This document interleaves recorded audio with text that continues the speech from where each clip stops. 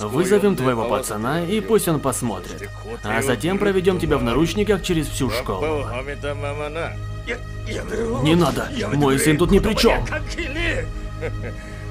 Все увидят, что его отец наркодилер. А что сам ребенок подумает, когда увидит своего отца в наручниках? Ну что, будешь говорить?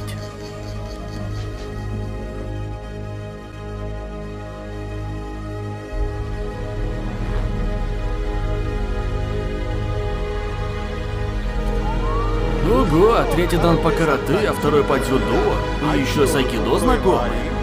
Выигрывали городские соревнования по стрельбе среди полиции пять лет подряд, семь раз были награждены.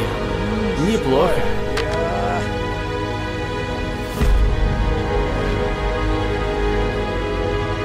Мы сделаем все возможное, но не слишком надейтесь. Что вы хотите сказать? Он живет лишь за счет силы воли. Следующие 24 часа будут решающими.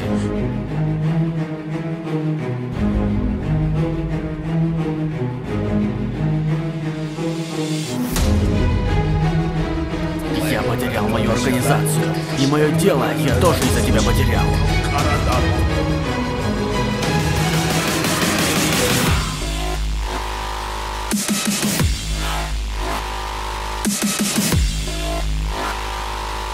We'll